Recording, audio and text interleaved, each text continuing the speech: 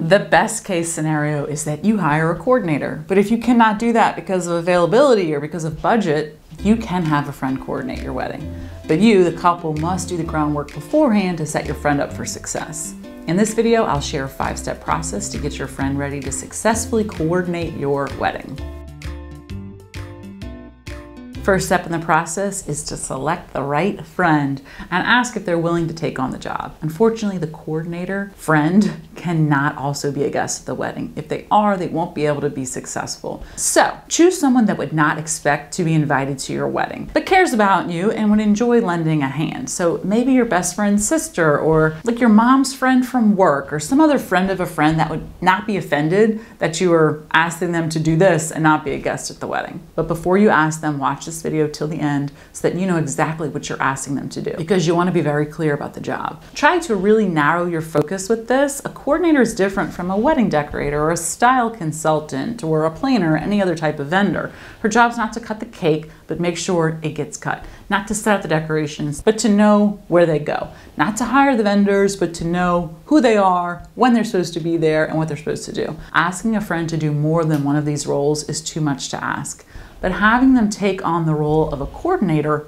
only can work. Step two is to stay organized as you plan. Keep an electronic or hard copy file with all the details for every vendor, contracts, pictures of the cake, floor plans, style ideas, any specifics about time frames, setup, delivery, all of that stuff. Organize it well for yourself. Then, about a month before the wedding, sort through all of that and pull just the most important contracts and details. So anything that is out of date, get rid of that. Use tabs to organize by vendor type and be ready to hand that off to your coordinator friend. Step three is to create a robust and accurate timeline with specific duties for the coordinator. Include everything that vendors are doing so she can keep track of the flow of the day and help get things back on track if they get behind. Also include a list of all the vendors and the contact person with a phone number for that day. So make sure you have the day of contact phone number. Many companies are going to give you a business hours phone number, but that's not going to work if something goes wrong on a Saturday or whenever the wedding is. We offer a timeline creation service for clients that are not using our coordination or planning services. We provide a detailed form with all of the questions needed to create a thorough timeline and vendor list.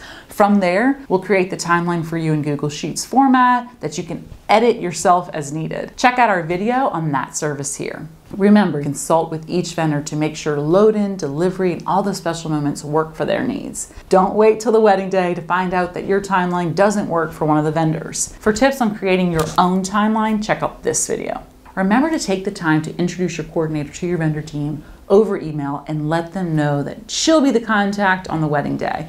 Give them her cell phone number for sure. Step four is to schedule a final walkthrough at the venue and make sure your coordinator friend can attend. There you'll give her a copy of the detailed layouts and review any setup plans. But remember, she is your coordinator, not your decorator.